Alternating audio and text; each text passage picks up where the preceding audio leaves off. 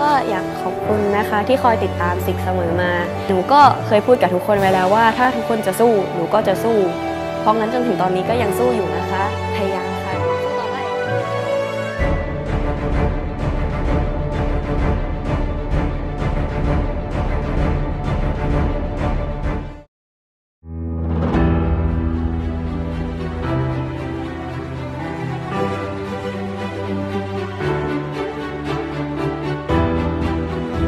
ミュージック「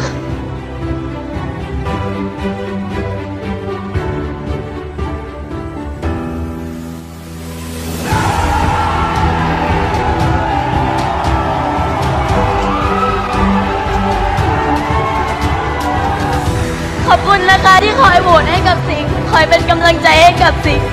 จากที่เป็นความฝันตอนนี้ไม่เป็นความฝันแล้วนะ